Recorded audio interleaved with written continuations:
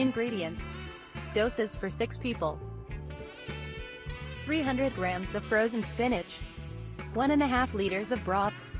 100 grams of tomato puree. 2 carrots. 2 potatoes. 1 tablespoon fresh chopped dill.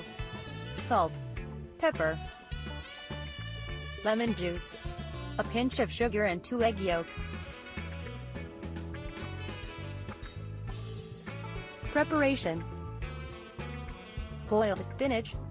Dice the potatoes and carrots. Pour vegetables, broth, chopped dill, salt, pepper and tomato puree into a pot. Bring to a boil and cook for half an hour.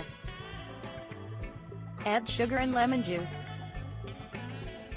Garnish with chopped boiled egg yolks. The dish is ready. Enjoy your meal.